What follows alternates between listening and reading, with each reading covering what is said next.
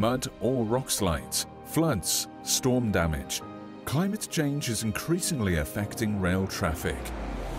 Sometimes there are just reports of overgrown vegetation or minor obstacles on the tracks that need to be checked. Previously, if railway employees wanted an overview of the situation, they had to go out onto the tracks. Even hard-to-access sections and their surroundings had to be walked and checked. Only then was it clear whether line closures and repairs were necessary and how costly they would be. All of this took time and extended the duration of line closures. State-of-the-art satellite-supported drone technology has changed the game. ÖBB is the first railway company in Europe to receive official approval to send drones along railway lines in a completely automated manner. This allows for flights without visual contact or proximity to the pilots. Working with Viennese technology company Frequentis, ÖBB Infrastructure is testing the real-life use of automated drones over an extended period. Drone hangars are spread along railway lines for this unique, highly innovative joint initiative. The drones can be launched and controlled from any working position by authorized personnel.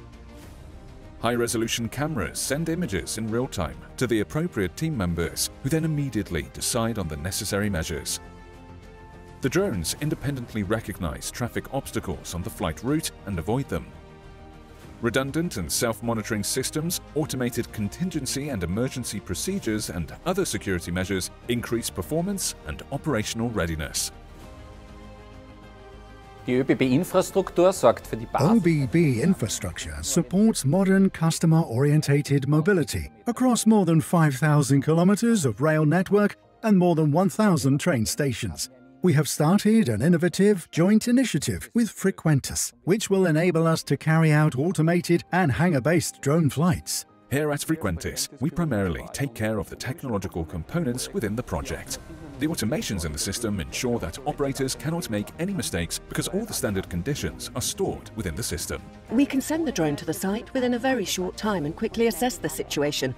This allows us to provide the responsible personnel with relevant information and data in advance. Durch den Einsatz von Drohnen By using drones, we gain valuable data. This allows us to further improve the lifecycle management of our systems. We become more effective and efficient.